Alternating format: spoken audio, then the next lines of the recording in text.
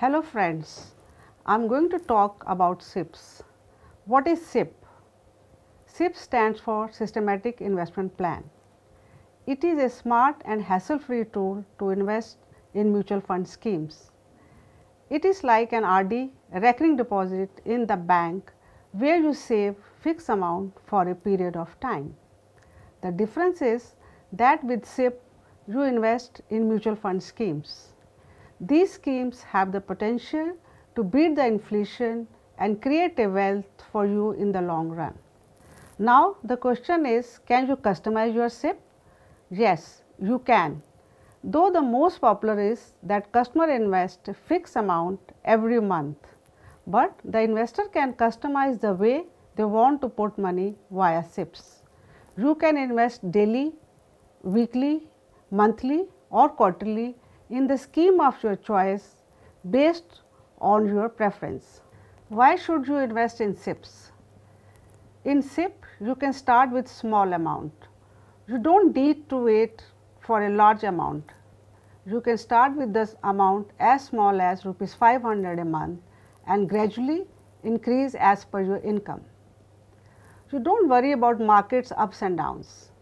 With SIP, as I mentioned earlier, you invest regularly in mutual fund schemes irrespective of ups and downs in the market. As a result, cost of purchase is averaged out over a period of time and you do not need to worry about timing the market. Investing through SIP is very convenient. The amount you choose is auto debited from your bank account at the pre-decided frequency. You do not need to worry about how to invest every month. You get the flexibility. SIPs gives you the flexibility to choose the amount you want to invest, the frequency of investing, the schemes you want to invest in and the time you want SIP to continue. Simple, convenient and easy to monitor. You do not have to take time from your schedule to make your investments. SIP has a benefit of compounding. The key to building wealth is to start investing early and to keep investing regularly. A small amount of money invested regularly for a long run grows to a large sum and you can achieve your life goals. That is the power of compounding. How to start a SIP? For starting a SIP, you first need to get your KYC done.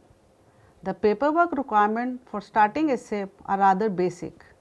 You will need the following documents PAN card, proof of address, you can show any of these documents for proof of address, Aadhaar card, passport, voter ID, utility bill or driving license, passport size photograph, checkbook to provide your bank details.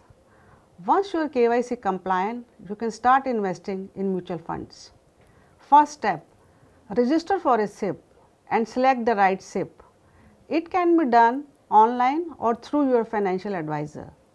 Most advisors provide personalized financial information and can help you with financial planning and investing. You can diversify your investments. By diversification, you can reduce the risk and also optimize the returns. Disclaimer, mutual fund schemes are subject to market risks. Read all schemes related documents carefully. For beginners, SIP is the best way to invest in mutual fund schemes.